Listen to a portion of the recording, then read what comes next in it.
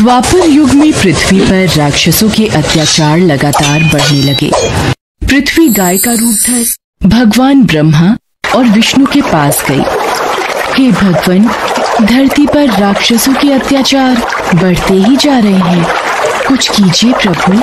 हे नारायण, अब आपको पृथ्वी की रक्षा के लिए धरती पर आठवें अवतार के रूप में अवतरित होने का समय आ गया है। ठीक है ब्रह्मदेव। मैं पृथ्वी का उद्धार करने के लिए मानव रूप में जन्म लूँगा। भोजवंशी राजा उग्रसेन मथुरा के राजा थे। उनका पुत्र कंस बहुत ही अत्याचारी स्वभाव का था। कंस ने उग्रसेन को राजगद्दी से उतारकर कारागार में डाल दिया। सैनिकों पिताजी महाराज को काल कोठरी में डाल दो। आज से मथुरा नगरी में कंस का राज चलेगा।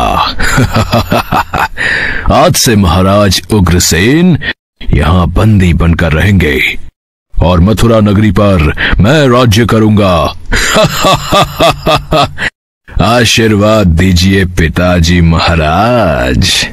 कंस, तू मेरा पुत्र है। ये सोचकर मुझे लज्जा आ रही है। देखना, एक दिन तेरे पाप का घड़ा अवश्य भरेगा।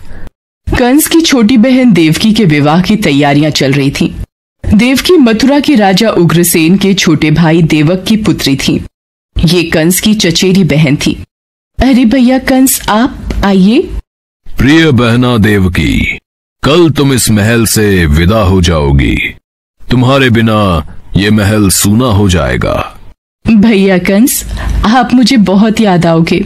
अगले दिन देवकी का विवाह वसुदेव नामक यदुवंशी सरदार से संपन्न हुआ। महाराज वसुदेव मैं अपनी बहन देवकी से बहुत स्नेह करता हूँ। इसलिए देवकी बहन को मैं स्वयं अपने रथ पर ससुराल विदा करके आऊँगा। ये तो हमारे लिए बहुत ही सौभाग्य की बात है महाराज कंस।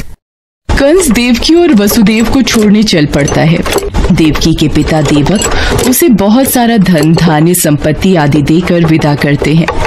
कंस देवकी और वसुदेव के साथ वार्तालाप करते हुए अभी आधे रास्ते ही पहुँचा था कि रास्ते में एक आकाशवाणी होने लगी। हे कंस, जिस देवकी को तू बड़े प्रेम से ले जा रहा है, उसी में तेरा काल बसता है। इसी के गर्भ से उत्पन्न आठवां पुत्र तेरा वध करेगा। तेरा वध करेगा। ये आकाशवाणी कैसी? नहीं, ये झूठ है। देवकी की कोख से जन्मा आठवां बालक मेरा वध करेगा।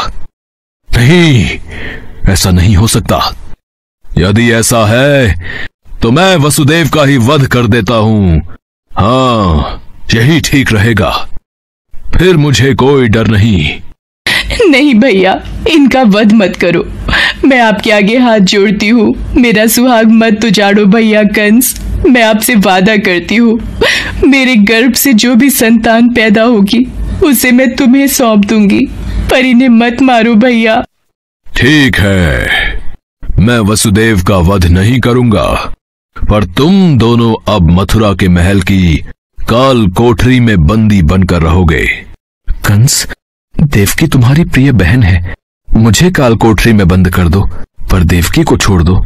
कंस ने वसुदेव और देवकी की एक बात न सुनी और वसुदेव और देवकी को कारागृह में डाल दिया। देवकी वसुदेव दोनों बहुत ही दुखी और हताश हो रहे थे। स्वामी मेरी वजह से आज आपको कारागृह में रहना पड़ रहा है। मैं ही आपके लिए दुख और विपदा का कारण बनी हूँ। नहीं देवकी नहीं। ऐसा मत कहो। मैं तुम्हें पत्नी रूप में पाकर बहुत प्रसन्न हूँ। हमें एक दिन कंस के पापों से मुक्ति ज़रूर मिलेगी। पर स्वामी भैया कंस मेरी कोख से जन्मे सभी बच्चों को मार देंगे। हम क्या करें? देवकी वसुदेव कारागृह में दुख भोग रहे थे। कंस देवकी और वसुदेव को धमकाता रहता था। वसुदेव देवकी के बच्चा पैदा होता और कंस कारागृह में आकर देवकी के हाथ से बच्चे को छीन लेता। ला ये पुत्र मुझे दे बहना। भैया मेरे पुत्र को मत मारो भैया नहीं। स्वामी हमारा पुत्र मैं अपने सामने ही अपने सभी पुत्रों का वध होते कैसे देख पाऊँगी? देवकी बेहोश हो जाती है। हे ईश्वर कोई रास्ता दिखाओ। कंस के अत्याचारों से हमें कब मुक्ति मिलेगी प्रभु? देवकी आँखें खोलो। कंस बहुत ही क्रूर और अत्याचारी राजा था जिससे प्रजा बहुत डरती थी। दुराचारी कंस ने वसुदेव देवकी के सातों बच्चों को जन्म लेते ही मार डाला। अब आठवां बच्चा होने वाला था। देवकी के आठवें पुत्र के जन्म का समय निकट आ रहा है। इसलिए पहरा और भी बढ़ा दिया जाए। जो आज्ञा महाराज कंस देवकी वसुदेव के कारागृह में बंदी रहने की बात नंद गाँव में वसुदेव के मित्र नंद के कानों तक भी पहुँची। दुराचारी महाराज कंस ने वसुदेव और देवकी को कारागृह में बंदी बना रखा है। देवकी के आठवें पुत्र के जन्म का समय निकट आ रहा है और इधर यशोदा को भी बच्चा होने वाला है। मुझे उनकी सहायता करनी होगी। आठवें बच्चे की रक्षा का उपाय सोचना होगा। जिस समय वसुदेव देवकी को पुत्र पैदा हुआ, उसी समय संयोग से यशोदा के गर्भ से एक कन्या का जन्म हुआ, जो और कुछ नहीं, सिर्फ़ माया थी। भाद्रपद के कृष्ण पक्ष की अष्टमी को रोहिणी नक्षत्र में श्री कृष्ण का जन्म हुआ। उनके जन्म लेते ही जेल की कोठरी में प्रकाश फैल गया। वासुदेव के सामने शंख, चक्र, गदा एवं पदमधारी चतुर्भुज भगवान ने अपना रूप प्रकट कर कहा वसुदेव, मैं बालक का रूप लेकर देवकी के गर्भ से जन्म ले चुका हूँ। मेरा ये अवतार कंस के संहार के लिए ही हुआ है। अब देर न करो। तुम मुझे तत्काल गोकुल में नंद के यहाँ पहुँचा दो और उनकी अभी अभी जन्मी कन्या को लाकर कंस को सौंप दो। ये कहकर भगवान विष्णु अंतर ध्यान हो गए। देखते ही देखते वसुदेव जी की हथकड़ियाँ अपने आप खुल गईं। कारागृह के द्वार अपने आप खुल गए। सभी पहरेदार सो गए। देवकी बेहोश अवस्था में थी। वसुदेव कृष्ण को एक टोकरी में रखकर गोकुल को चल दिए। बारिश और तूफ़ान के बीच नन्हे कृष्ण को उठाए वसुदेव चल रहे थे। यमुना जी का जल स्तर तो बहुत ऊपर हो रहा है। कैसे जाऊँ अपने नन्हे बालक को लेकर?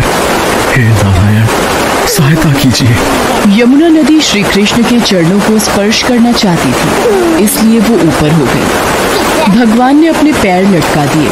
चरण छूने के बाद यमुना घट गई। भगवान श्री कृष्ण की इस लीला को वसुदेव भली भांति देख रहे थे। वो यमुना पार कर गोकुल में नंद के यहाँ गए। मैं इस बालक कृष्ण को तुम्हें सौंप रहा हूँ। ये बड़ा होकर मथुरा वासियों को कंस के अत्याचारों से मुक्ति दिलाएगा। लाओ मित्र वसुदेव यशोदा अभी गहरी नींद में है। मैं इस बालक को यशोदा की बगल में सुला देता हूँ। नंद माया रूपी कन्या को वसुदेव के हाथों में दे देते हैं। ये लो मित्र इससे पहले कि कंस कारागृह में पहुँचे तुम शीघ्र इस कन्या को लेकर वापस लौट जाओ। तुम धन्य हो मित्र तुम धन्य हो। वसुदेव वापस कारागृह में लौट आते हैं और उनके लौटते ही कारागृह के द्वार अपने आप बंद हो जाते हैं। वसुदेव जी के हाथों में हथकड़ियाँ पड़ जाती हैं। हाँ, अरे ये तो बच्चे के रोने की आवाज़ है। महाराज कंस को सूचना देते हैं। देवकी हमारे यहाँ आठवें पुत्र ने नहीं पुत्री ने जन्म लिया है। क्या? अब ये तो पुत्री का जन्म हुआ है। पहरेदार कंस के पास जाते हैं। महाराज की जय हो। देवकी ने पुत्र को नहीं पुत्री को जन्म दिया है। क्या ऐसा कैसे हो सकता है? कोई बात नहीं। शायद मेरे प्रकोप से भगवान भी डर गए। और पुत्र की जगह पुत्री का जन्म हो गया। ये तो विधि का विधान बदल गया। पर मुझे सावधान रहना होगा। मैं इस कन्या का भी वध कर दूँगा। भैया इसे छोड़ दो। ये तो कन्या है। आपको तो मेरे आठवें पुत्र से कष्ट था। कंस ने देवकी की एक न सुनी और कन्या को देवकी की गोद से छीन लिया। कंस ने जैसे ही कन्या को पत्थर पर पटक कर मारना चाहा, वैसे ही कन्या कंस के हाथों से छूटकर आकाश में उड़ गई और कन्या ने देवी का रूप धारण कर लिया। हे कंस तुझे मुझे मारकर कोई लाभ नहीं मिलेगा। तुझे मारने वाला तो कब का पैदा हो चुका है और गोकुल पहुँच गया है। ये कहकर देवी अंतर ध्यान हो गई। कंस ये दृश्य देखकर गुस्से से छटपटाने लगा और गुस्से में अपने महल में आ गया। कंस ने श्री कृष्ण को मारने के लिए अनेक दैत्य भेजे। श्री कृष्ण ने अपनी अलौकिक माया से सारे दैत्यों को मार डाला। बड़े होने पर कृष्ण ने कंस को मारकर उग्रसेन को राजगद्दी पर बिठाया। उस दिन से श्री कृष्ण के जन्म महोत्सव को सारे देश में बड़े हर्षोल्लास से जन्माष्टमी के रूप में मनाया जाता है।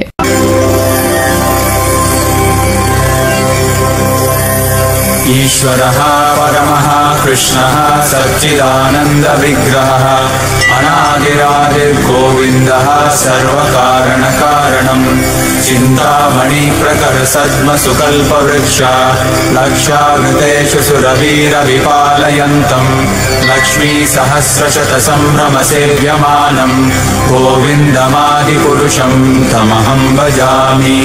वेणुम् वेणुवणन्तमरविन्ददलायताक्षम् बर्हावतम् समसिताम्बुरसुन्दराङ्गम् कन्दद्वकोटिकम् शेषशोभम् गोविन्दमादिपुरुषम् तमहम् भजामि। आलोलचन्द्रकलसद्वनमाल्यवंशी। रत्नाङ्गदम् प्रणयकेलिकलाविलासम् श्यामम् त्रिभङ्गललितम् नियतप्रकाशम्। गोविन्दमादिपुरुषम् तमहम् भजामि। अङ्गानि यस्य सकलेन्द्रियवृत्तिमन्ति पश्यन्ति पान्ति कलयन्ति चिरं जगन्ति। आनन्दचिन्मय सदुज्ज्वलविग्रहस्य गोविन्दमादिपुरुषं तमहं भजामि। अद्वैतमच्युतमनादिमनन्तरूपम्